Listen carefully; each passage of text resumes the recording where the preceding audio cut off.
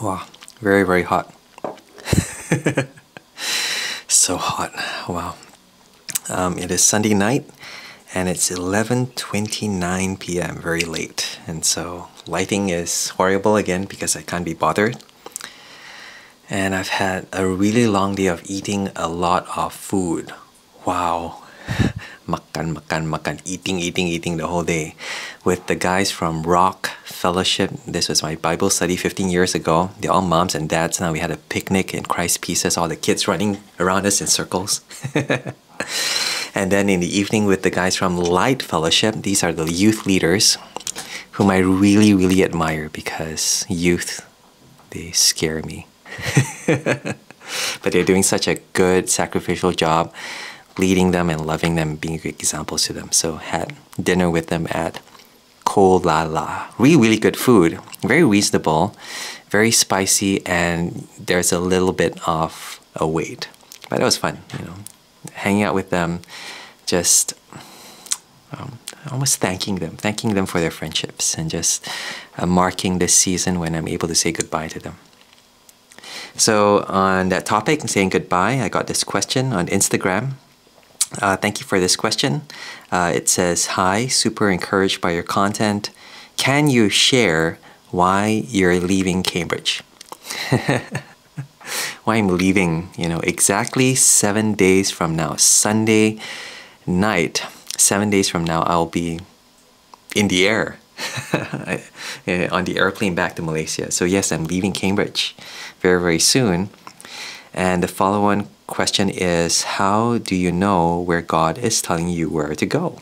How do I know it's Malaysia? Or how do I know what to do next? What am I going to do next? I don't know. I don't know. Uh, I wish I wish I could tell you that there was this big plan or this big you know vision from God. Go back to Malaysia. There there there there isn't. No. Um, uh, those of you who know me know that I've been talking. Been talking about going back to Malaysia for years and years and years and years. And then they say, hey, you're still here. That's why 26 years in Cambridge, ma. But finally, finally, I'm doing it, and I think it's the sum of all those micro decisions, kind of like a domino effect. And I guess the biggest domino uh, was uh, Chinese New Year, uh, February, just this year. Yeah, I went back to Malaysia, and it was such a sweet and such an enjoyable moment. I didn't want to leave. Uh, being back home, having wanton mee at Cha Chan Teng with my dad. I really want to go back there. It's so good. or going to church, actually listening to a sermon by a pastor in a Malaysian accent. I really, really love that. And meeting new friends. The thing is, I lost all my old friends already, never kept in touch. But I never thought I'll meet new friends in Malaysia whom I met over lockdown and then when I went back, I met in person and had bingsu with them. It was such a encouraging time. They really inspired me with their passion for the gospel, for the Bible. And I think it really surprised me as well to find that back in Malaysia. And so the sum total of that was that I was hoping I would get COVID in Malaysia so I would be stuck there. But I, I didn't. I came back, I got COVID over here. Yeah.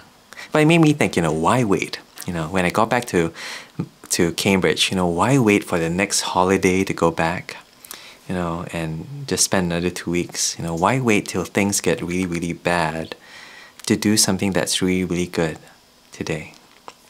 And so that domino, that big domino of going back to Malaysia over Chinese New Year, kind of like set everything off. I bought a ticket, you know, the ticket for next week was a super duper cheap ticket. You know, summer is so expensive to go back, but this particular day for this particular flight, I don't know why, maybe it's like super full, was super cheap. And so that's the only reason I bought that ticket. And when I got that ticket, therefore I got the date to tell my boss that I was quitting. And so I did. And they were super, super understanding. Um, actually, you know what? Uh, the thing is, last week, right, when I left, they did this really funny, surprising video as a farewell for me. And everyone was in on it. They came in during one of my off days and they filmed it. Them running around the canteen, holding bananas, singing a song. It was so silly, including my boss. Uh, but oh, wow, I've made really, really good friends here and it makes it really, really difficult to say goodbye, but also makes it seem worthwhile the time I spent here. And yeah, finally, finally going back home yeah, in a week. I think I think I won't know what I'm missing until I'm back home, back home in Malaysia, and I'll miss everything here and everyone. Yeah, so uh, really no real big plan, big vision, just series of dominoes, the ticket, my job, and now having to pack up. I haven't packed up yet. I have to pack up and leave very very soon. Um, you know, lots of us, when it comes to God's plan, you know, the question was, how do I know that this is what God wants me to do? And, you know, maybe you are at that crossroads as well. And sometimes what we want is that big picture and God to give us that Google map, you know, go here and then you go here and then you stop here and you end up here. Know, that big map so that we know the full picture and you know, I, that never happens. God gives us a compass, not a map. He gives us nudges, you know, take this route. You know, don't do this, do that instead. And then we don't quite know why, but it's always inconsistent with His uh, consistent, not inconsistent, consistent with his character, with his love, with his um, control, that he is God and we are not. And I think uh, this kind of micro decision is really uh, us living out each day, each moment in prayer and dependence upon God. And you know, with the big and with the small decisions, the best thing that we can do is to commit it to Him, to trust Him, and to almost you know, honor God with everything that we're doing in the very moment that we're trying to do it.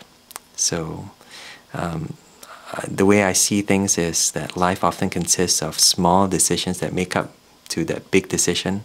Oftentimes, before you get to that big turning point, you get to that big decision, you've already made very, very small decisions leading up to that. And that prepares you, but it prepares you to trust God every step of the way.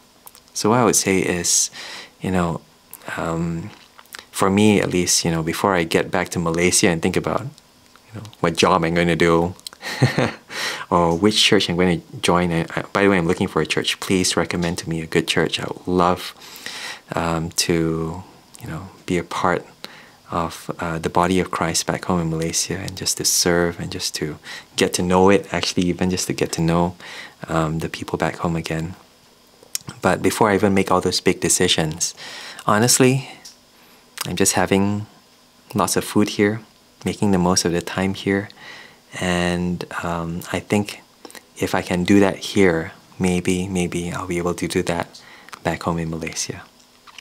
Yeah, hope that helps. Again, uh, for what it's worth, I really, really appreciate the question. I hope that helps you in your big decision making.